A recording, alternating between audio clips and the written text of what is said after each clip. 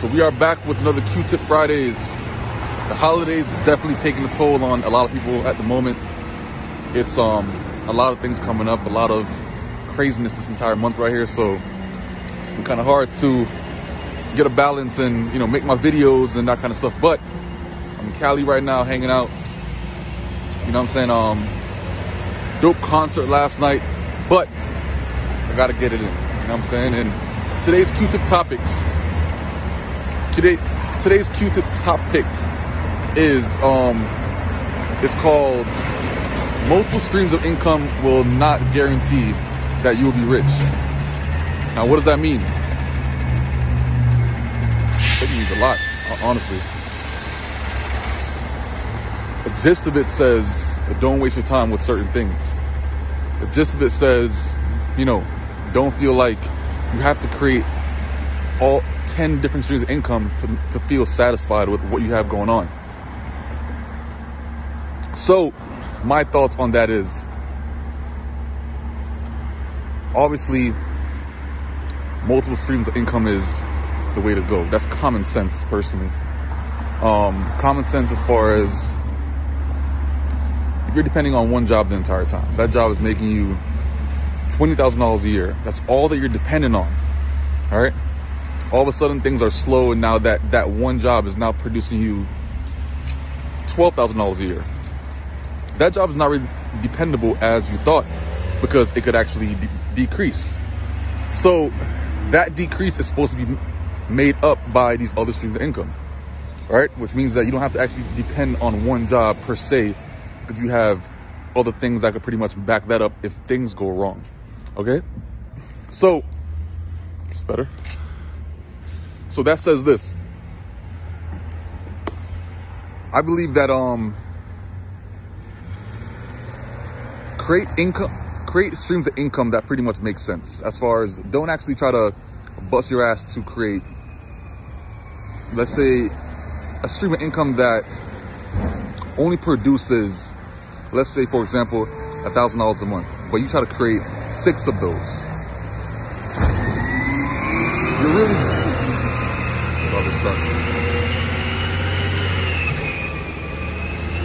if you have to really bust your ass to pretty much create six different streams of income that only produces a thousand dollars that's a lot that's a lot of work. That's a lot of work. I don't feel like it's worth it personally because it's it's pretty draining to actually create one stream of income. So to actually bust your ass to create six of those that's not really doing much i don't know i don't think it's worth it much personally. That's what like uh let's say six thousand dollars a month times 12 that's 72000 for six different streams i don't feel like it's worth it. I feel like you know you got to pretty much focus on on one stream of income that's going to be your, your your main stream. As far as the main money train. Beyond that you could pretty much create trickle streams that pretty much creates you a couple thousand dollars here a couple thousand dollars there. Yeah they take a bit more effort a lot more effort than the thousand dollars um stream of income. But at the same time that little extra work that that you did definitely made it now worthwhile. Now that second stream of income let's say pr- produces you five thousand dollars a month. You know what i'm saying? And, um, and the money train is pretty much the main thing that's going on but that, that trickle stream it took a bit longer but it's creating you almost the same amount as that those six streams of income. So now it's only two streams of income but at the same time now that's producing you hundreds of thousands of dollars knowing that you have your one main stream that pretty much took the longest to actually curate but at the same time the second stream of income is kind of like a trickle one. You know what i'm saying? Um like when i first started you know doing everything that i'm doing now like um even like back even back when i was working at target for example target wasn't my my mainstream income. Like i still bought a brand new bmw 335i 2015 gray red interior brand new it's a lease but at the same time i'm still affording it as far as i'm still paying $600 a month for that one car. You know what i'm saying? And i was only getting paid $300 at target. So it kind of people knew that yo like actually there's one person that said yo like how how are you driving that brand new car when i know target is not paying for that? And i was like you're right it's not paying for it because i had pretty much other streams that I, that I was working on at the time that pretty much produced me a bit more money back then it was okay so i had target $300 um I was trading, so that probably produced me about maybe two thousand dollars a week at times because I was having some, some decent days, but at the same time, like five hundred dollars here, five hundred dollars there, it added up. So I probably like 200 $2,000 a week. That's like 8K a month. Um, and that was just flowing. That was just flowing.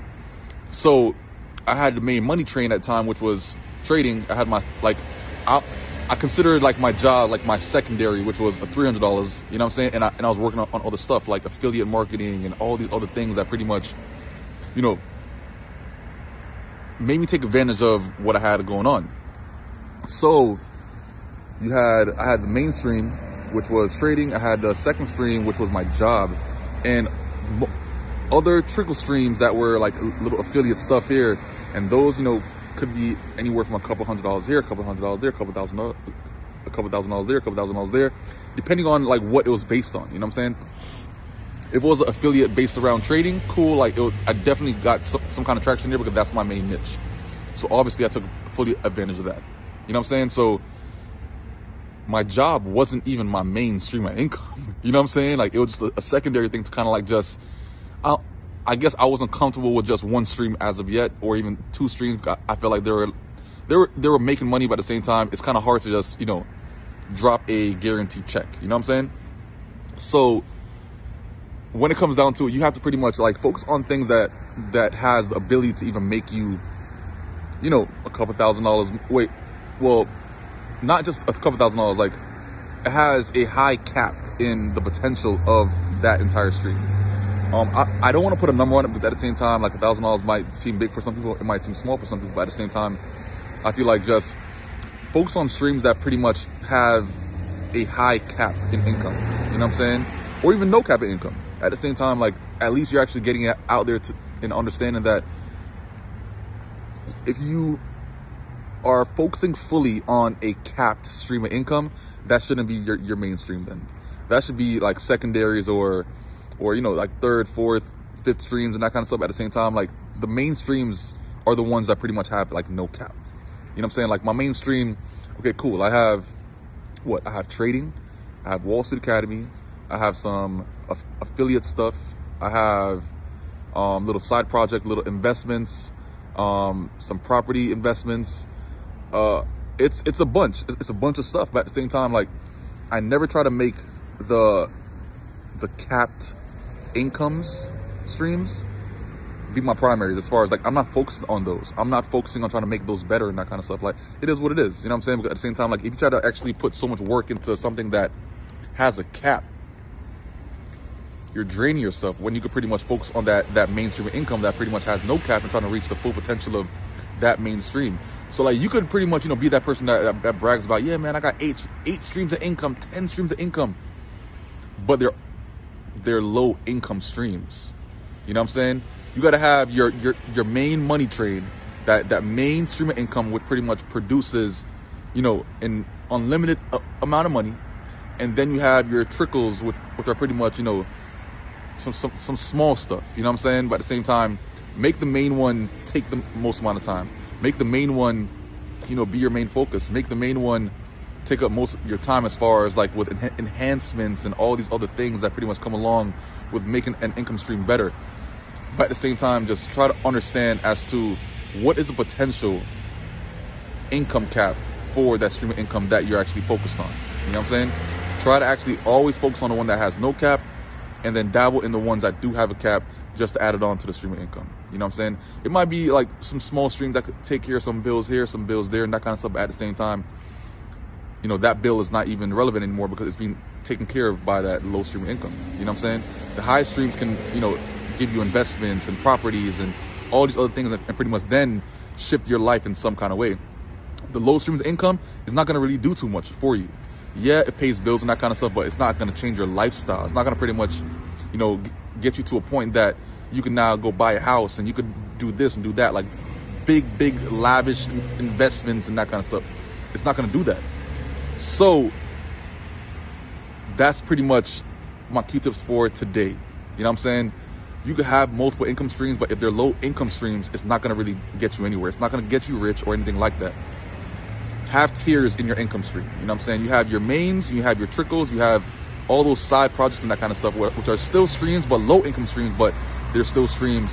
But put the most amount of time, the most amount of effort into that main money train that has unlimited amounts of income that you can create from that. From there, you can pretty much dabble in the side stuff and still have fun at the same time and still still consider those income streams, but not your main one. You know what I'm saying? So that's my Q tips for today. Um, multiple streams of income will not will, will not guarantee that you will be rich, but it could definitely put you on, on that path to being rich if you pretty much organize it right. Main money trains and trickles. All right. So that's about it for today, guys. Q-Tip Fridays. I'm gonna at you guys.